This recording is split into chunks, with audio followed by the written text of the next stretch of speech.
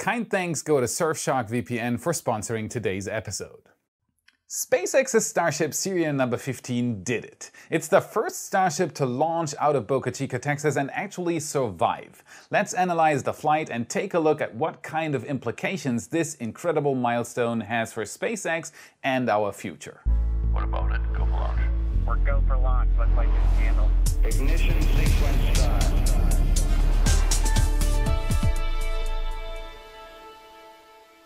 My name is Felix and I am your host for today's episode of What About It. And as always, there has been a lot going on in the space industry lately, so let's dive right in. Starship updates.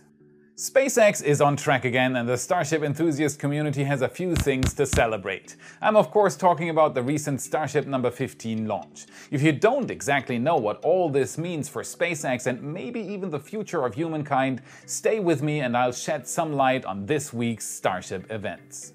This is it, the moment many have been waiting for again for a while now.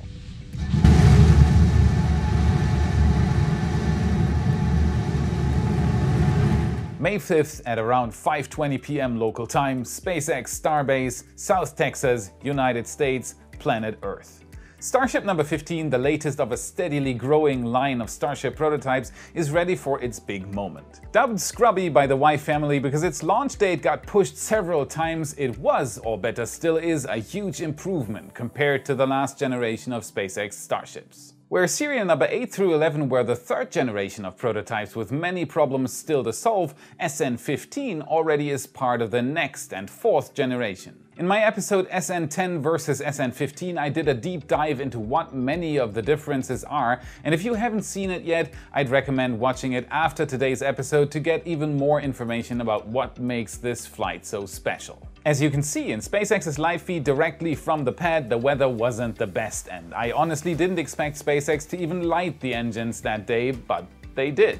Kage, my co-host for the evening, and I could barely stand the tension, and the community managed to create the longest hype train in spaceflight history. All thanks to SpaceX and a spaceflight project that couldn't be crazier in its scope. Then history unfolded. Narrated by John Insprucker, an icon amongst the spaceflight community, Starship number 15 soared towards a very low cloud ceiling in Boca Chica. All three Raptor engines ignited without any visual problem.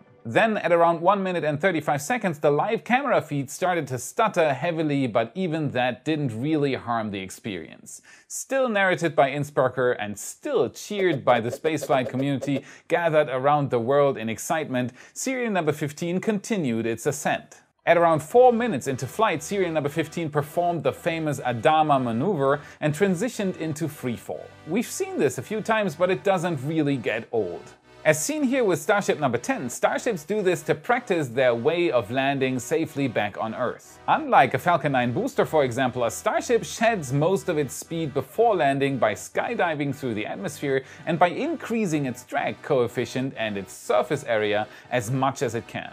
This saves large amounts of fuel for the final landing burn, as the terminal velocity can be lowered to around 90 meters per second this way. Huge thanks go out to the SpaceX staff responsible for camera placement on Starship number 15. Whoever had the idea of placing one of the action cams on one of the forward flaps deserves an Oscar for best camera.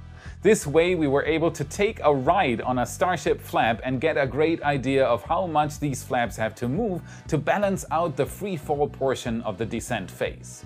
At around 5 minutes into the flight, Starship number 15 got ready to transition from horizontal to vertical again, do the swing maneuver and start the final landing burn. John Insprucker explained it, of course, and while doing so, he said that Starship will flip with three engines and then shut down one engine and possibly two, and then do the landing burn. On Starship number 10, the landing burn was done with one engine after shutting down two and down selecting to make sure that one engine has a good burn. It had a good burn, but it also ingested helium from the header tanks while doing the landing burn, which lowered the thrust output and caused a very hard landing ultimately resulting in the loss of the vehicle a few minutes after the landing. Don't get me wrong, these ruds are spectacular and Cosmic Perspective did an absolutely awesome job here filming the event, but even though we might like these explosions, SpaceX doesn't. It keeps them from the most important price at the end A Starship they can actually analyze after the flight. Serial number 15 enabled SpaceX to do exactly that. Starship serial number 15 performed the flip with two engines and kept them running throughout the landing burn, which ultimately provided enough thrust for serial number 15 to softly touch down. On LabPadre's awesome camera feed, you can see how gentle the Starship came down. Not completely in the middle of the pad and with a small fire developing under the engine skirt right after touchdown, but nonetheless with deployed legs, standing and soft. It survived. Right at the landing, SpaceX showed a camera from inside the engine skirt and a thermal insulation blanket can be seen dangling around and burning. This might have been the cause for the fire inside the engine bay. The biggest damage the fire caused can be seen in a wide-angle drone shot from just after the landing. Loud popping noises can be heard and some explosions under the skirt can be seen. Those likely are COPVs inside the engine bay that exploded after the fire heated them up enough. This will likely have damaged the Raptor engines beyond repair, but it isn't a bad thing. SpaceX, for the first time in the test program, now is in possession of a flown Starship prototype that did not experience a complete RUD. I can already see a grinning horde of engineers cannibalizing poor serial number 15 because this is the holy grail for them. They can now inspect a flown Starship for the first time, inspect welds, material fatigue, heat tiles, the tank structure and so on. Serial number 15 didn't only prove that a Block 4 Starship can land, it also gave SpaceX the opportunity to study a Starship up close after a flight. My verdict for this flight is that it is the proof SpaceX needed to now enter the next stretch of development. Not only did serial number 15 give proof that a Starship can manage to land without an explosion, but it also is a huge motivational boost for all the engineers and workers involved in building it. Knowing that progress is being made can be an invigorating feeling. Thank you SpaceX crew, you are absolutely amazing. Next up, let's take a look at what comes after serial number 15. What can we expect next? What are they up to now? Let's find out. What do you think about today's episode so far? Liked it? Give it a thumbs up. Didn't like it? Tell us in the comments what we can do better. Subscribe to the channel or even become a member by hitting the join button under the video and get awesome perks like access to our Discord and a chance to talk to me and the team or completely ad-free episode releases for supporters. Or get some fresh WAI-wear in our merch store. Designs from the community including Neopork, Nick Henning, Brendan and me ready to make you look awesome for the next launch. Thank you for all your support, you rock!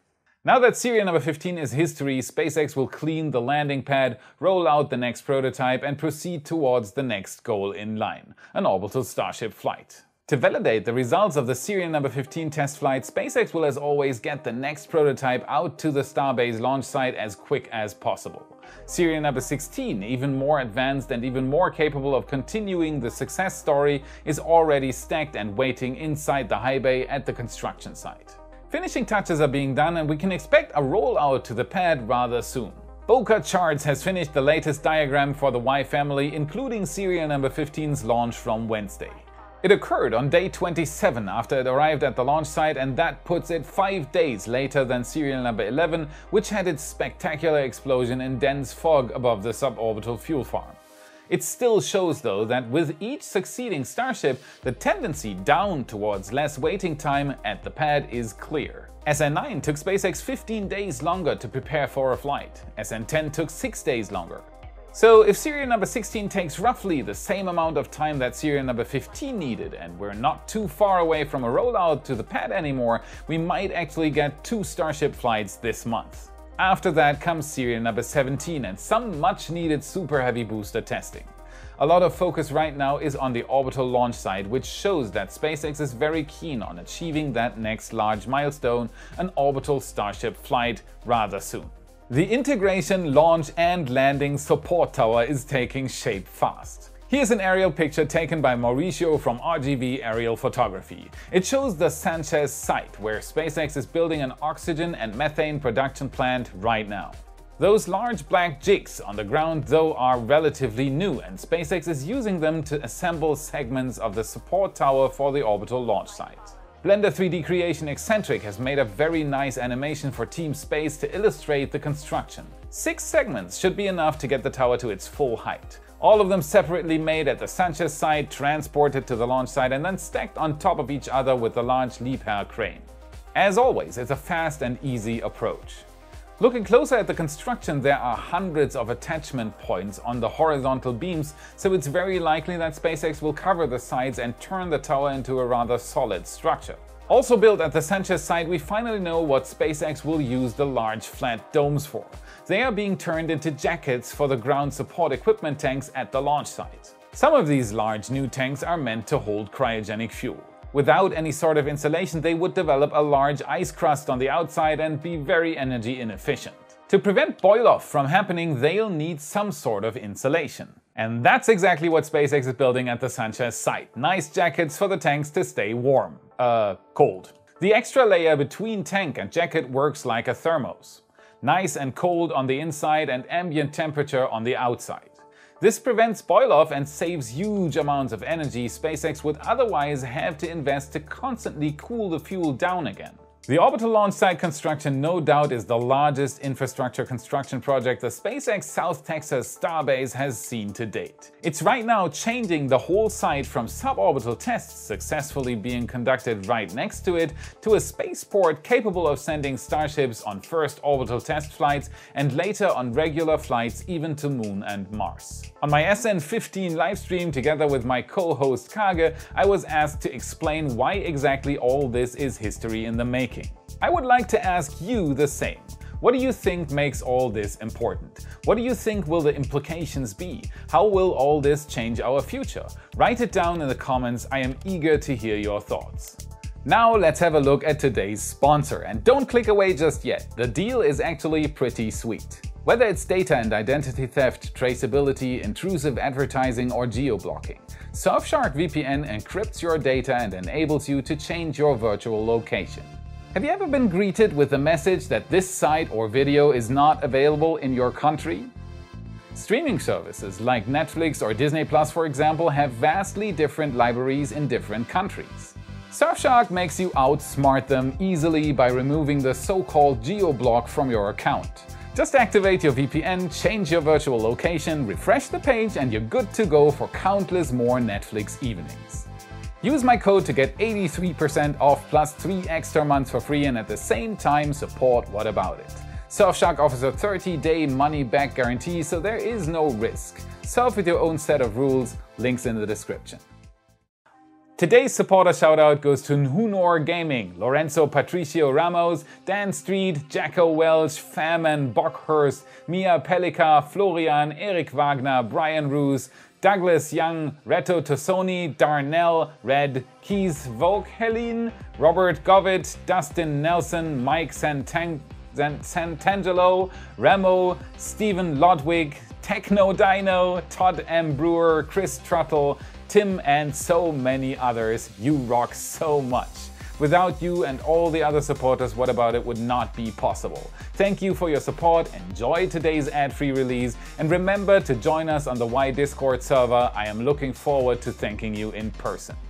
Today's team shoutout goes to the crazy bunch of people again who make our live streams possible, the mods. Thank you so much for enduring all those shrug, hype and Kage trains. Without you, there would not be any streams. It's an honor and a pleasure working with you. Have a great weekend and I'll see you on the next launch.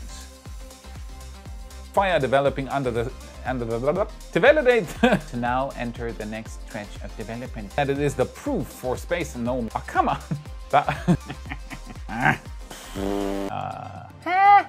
no, no. What? There's something wrong with the script. Where's my remote when I need it? Boing. Yes. no. Where's my remote when I need it? Yes. Where's my remote when I need it? Yes. Where's my remote when I need it? Boing. Where's my remote when I need it? No.